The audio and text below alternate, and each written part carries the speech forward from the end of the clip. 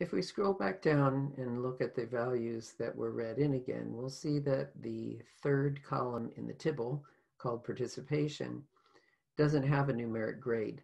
It has a character string that is either pass or fail, depending on whether they have been assigned a passing or failing grade for participation.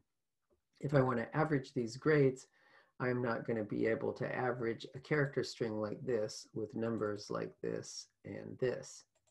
So I'm going to have to come up with some way to convert these character strings into a number. And I've decided that for my grading scheme, if a person gets a pass, that's going to count as 100% averaged in their grade.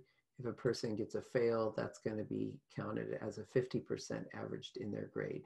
If I wanted to be really mean, I could make it be a zero, but I'm not that mean, so I'm going to let it become a 50%.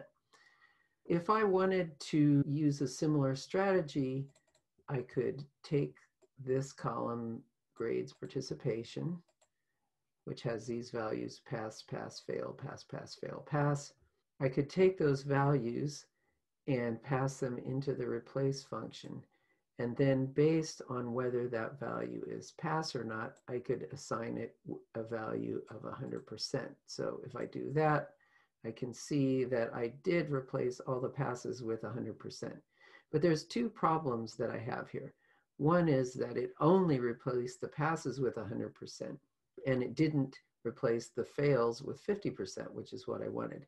The other problem is that I can see that these 100s here are not 100 as uh, integer numbers, they're 100s as strings. And I'm going to run into a problem probably if I try to average strings like this with uh, numbers. So that's a second problem. Uh, clearly replace is not going to do the job for us. We need something else.